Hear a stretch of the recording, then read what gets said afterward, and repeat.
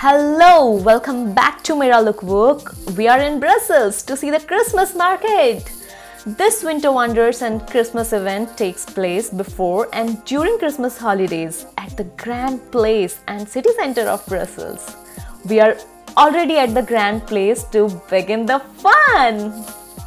Here, every day a light and sound show happens except the day before Christmas and New Year. We actually missed it, but if you uh, want to visit, just check out the website before planning to visit this. So let's enjoy the Christmas festival.